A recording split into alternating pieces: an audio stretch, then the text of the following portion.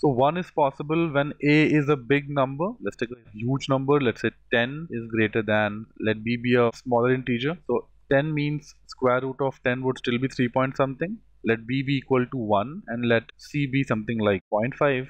So this is definitely possible. Square root of 10 would be 3 point something, 1 raised to power 2 would be 1 and 0.5 raised to power 4 would be a very very small number, 0.1 something or even less than that. So statement 1 is definitely possible. C is greater than B is greater than A. This is also definitely possible for cases such as let's say C is equal to 0.9, B is equal to let's say something smaller than this 0.89 and A is equal to 0.88. So see originally C is greater than B is greater than A but square root of A when you square root a number between 0 and 1 its value actually increases. The square root of A should be something like 0.93 0.94 square is 8836 should be a bit less than that. So basically it would be more than 0.9 b square would be 0.89 into 0.89 something like 0.8 or something. And c raised to power 4 would be 0.9 square would be 0.81 0.81 square would be 0.64 something so C originally C is greater than B, B is greater than A, but values of these are in the order suggested here.